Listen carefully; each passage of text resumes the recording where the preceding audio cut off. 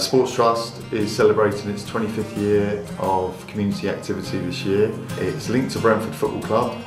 We now have 100 staff and volunteers that work out in the community delivering over 5,000 sessions in over 20 sports throughout the year. Many of our projects are social inclusion based, for instance working on housing estates and within a range of programmes to encourage and involve people and engage them through sport. We have a boating arch faced at Kew Bridge which offers not only boating but paddleboarding, team building for organisations, a real thriving uh, social hub.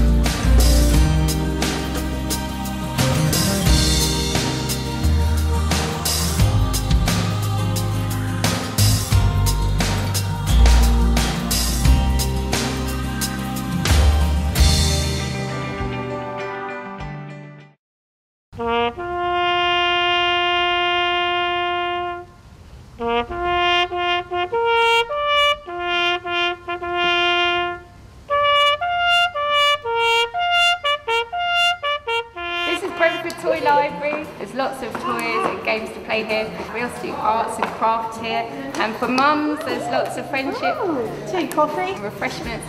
It's an invaluable resource for the whole community.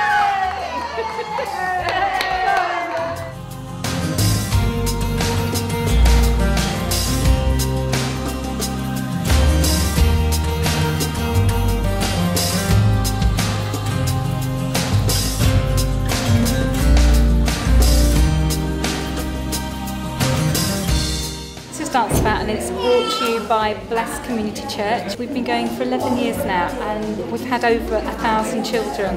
We've discovered that children who come to groups such as Dance About settle into school so much more confidently because they're used to group activities.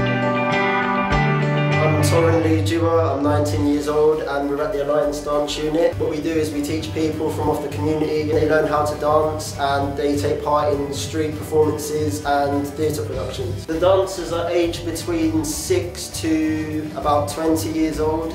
When I was younger I never had much to do on my estate so I want to be the person that gives that opportunity to people.